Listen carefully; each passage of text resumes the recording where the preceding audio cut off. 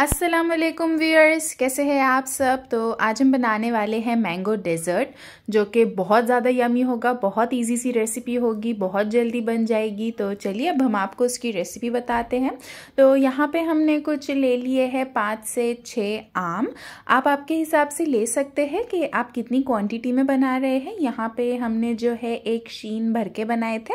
तो उसके लिए जो है छः से सात आम जो है वो काफ़ी थे और ये आम थोड़े बड़े थे तो तो इसीलिए छः से सात आम जो थे वो इनफ थे। तो बस यहाँ पे हमने जो है सारे आम का जो छिलका है वो बहुत ही अच्छे से निकाल लिए थे और फिर उसके बाद हमने उसे ऐसे ही रफली चॉप कर लिए थे और जो गुटली थी वो हमने उसे साइड में रख दिए थे।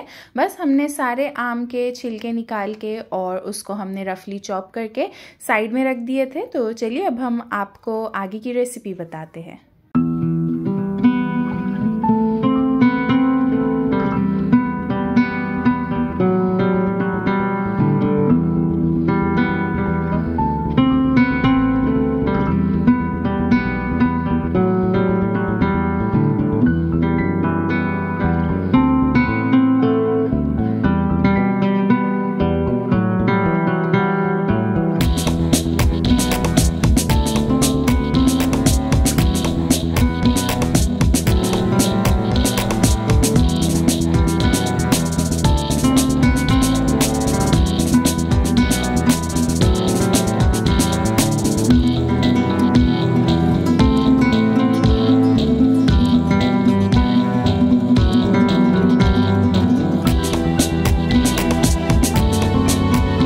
यहाँ पे आप देख सकते हैं, हमारे जो सारे आम है वो बहुत ही अच्छे से चॉप हो चुके हैं। अब हम इसे ग्राइंड कर लेंगे। तो यहाँ पे सबसे पहली बात आपको ये ध्यान रखनी है कि जब आप ग्राइंड करें तो आप इसमें थोड़ा सा भी पानी नहीं मिलाएँगे।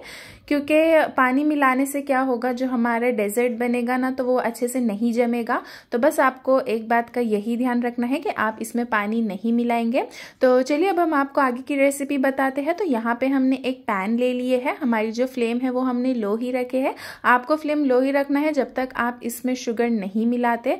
तो बस यहाँ पे जो है, हमने इसमें वन कप शुगर मिलाया है। शुगर आप आपके हिसाब से डाल सकते हैं कि आप कितना स्वीट खाते हैं या फिर आपके आम कितने मीठे और कितने खट्टे हैं तो उस हिसाब से आप इसमें शुगर डाल सकते हैं।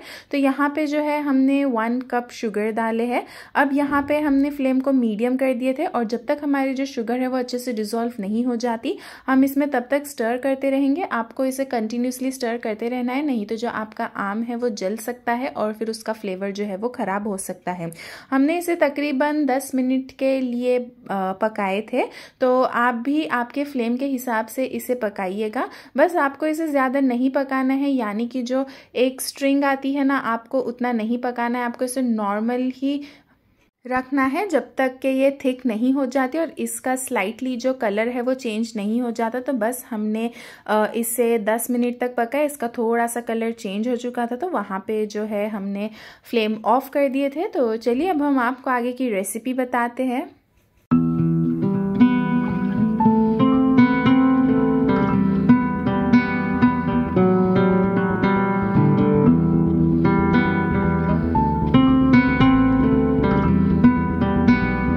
यहाँ पे आप देख सकते हैं, हमने कुछ सात मिनट के बाद चेक करे थे तो ये पूरी एक स्ट्रिंग नहीं बन रही थी। बस यही पॉइंट तक आपको पकाना है। अगर आप ज़्यादा पकाएँगे तो जो हमारी स्ट्रिंग है वो हो जाएगी तो उतना हमें नहीं पकाना है। उसकी वजह से क्या होगा, जो हमारे डेजर्ट है वो कड़क हो सकता है। तो बस आपको ये पॉइंट पे जो है फ्लेम ऑफ़ कर देनी है। यहाँ पे हमने ले लिए है एक शीन आप चाहे तो कोई भी एक प्लेट ले सकते हैं।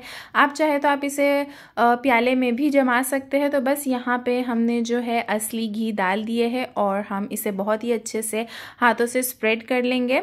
आप कोई भी बर्तन ले रहे हैं तो आप नीचे बहुत ही अच्छे से घी लगाइए। अगर आपके पास घी अवेलेबल नहीं है तो आप ऑयल का यूज़ कर सकते हैं। बस ऑयल का जो टेस्ट है, वो थोड़ा डिफरेंट आएगा। तो बस यहाँ पे हमने कॉर्नर्स पे भी बहुत अच्छे से जो है वो घी को स्प्रेड कर लिए है।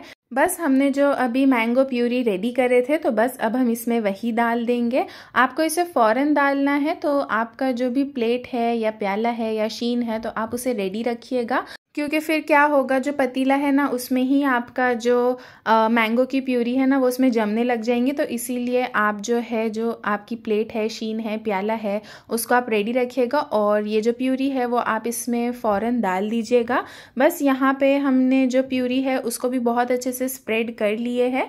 अब हम इसे रेफ्रिजरेटर में रख देंगे कम से कम तीन घंटे के लिए। अगर आपका तभी अच्छे से नहीं जमता है तो आप ज़्यादा टाइम के लिए भी रख सकते हैं। आप चार से पाँच घंटे के लिए भी रख सकते हैं। अच्छा रेफ्रिजरेटर में रखने से पहले आप इसे थोड़ी देर के लिए पंखे के नीचे ही रखिएगा जब तक ये नॉर्मल टेम्परेचर पे नहीं आ जाता तब तक आ, जब ये पूरा ही नॉर्मल टेम्परेचर पे आ जाएगा तो उसके बाद आप इसे फ्रिज में रखिएगा। कुछ तीन घंटे के लिए फिर चलिए अब हम आपको बताते हैं कि तीन घंटे के बाद जो है हमारा डेजर्ट कैसा लग रहा है ये बहुत ही ज़्यादा यमी लगता है। आप एक बार बनाकर ज़रूर ट्राई करिएगा।